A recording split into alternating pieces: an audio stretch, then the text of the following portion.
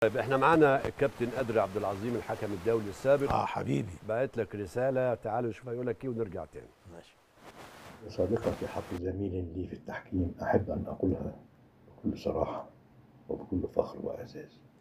عن زميلي الحكم الدولي أحمد الشناوي. الإنسان الخلوق الصادق المجتهد الذي أحب التحكيم وتفانى في حبه وكان بيحبه من كل قلبه.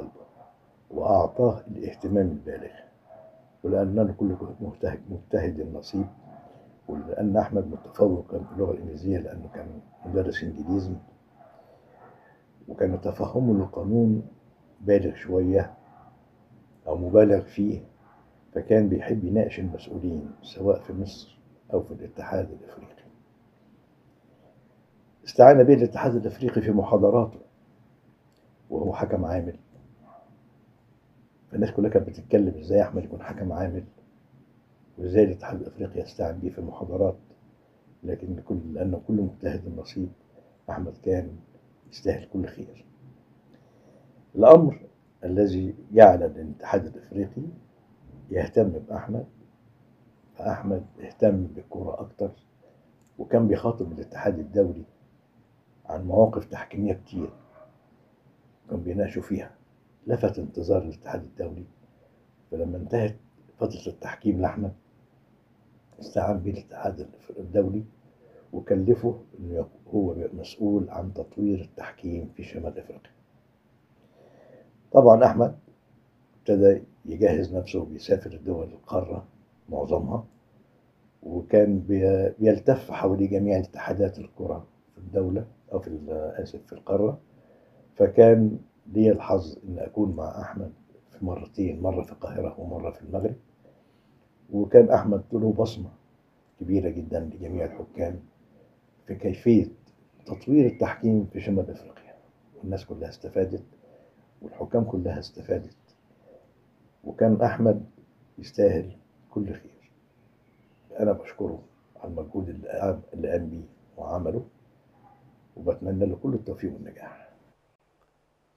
كابتن قدري بعت لك رسالة ترد عليه تقول له فيها إيه أقول له طبعا أنا بشكرك كابتن أدري خلي بالك أنا دخلت التحكيم الدولي هو كان حكم دولي كبير و- وأمم قبليك افريقيا بفترة طبعاً. بقى يعني. فقال لي قال لي يا أحمد اهتم ما يهمكش اشتغل على نفسك أنت حكم كويس وعندك ال... هو بقى كان بيشوفني وأنا بتكلم بقى في القانون بالإنجليزي وابعت. نعم. والاجابات فهو قال لي أنت خليك في المحاضرات ما جابها لك كده على طول يعني. آه قال لي خليك في المحاضرات انت احمد بسم الله ما شاء الله بت...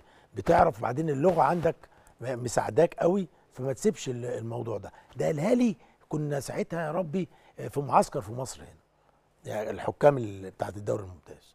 قال لي لا انت ركز ركز انت حاجة كبيرة هتبقى.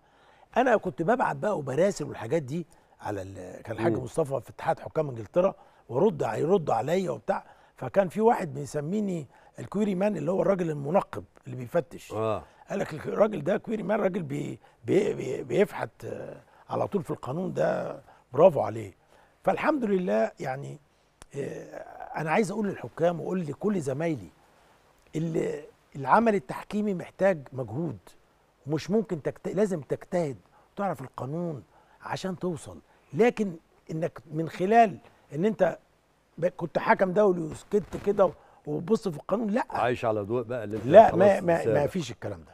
يعني انت شايف ان ال ال الحكام المصريين كلهم ضد فيتوريا اللي هو رئيس لجنه الحكام وضد كلانت بيرج اللي هو الإنجليزي اللي مشي قبل كده؟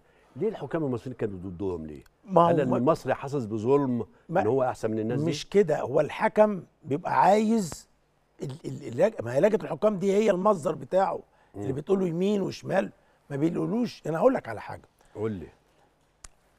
هات اسأل كده اعمل يعني است- استبيان كده واستطلاع رأي. أي دولة قبل البطولة بتاعت بتاعتها بتعمل معسكر للحكام. آه. معسكر الحكام بيبقى قد إيه؟ مش أقل. من مش شهر؟ من متتبع لكل فرق لكل مجموعة مش أقل من أسبوع. آه. إحنا هنا يوم ونص. يا بلاش. ويعمل اختبار اللياقه أهم حاجة اختبار اللياقه عشان يلعبوا.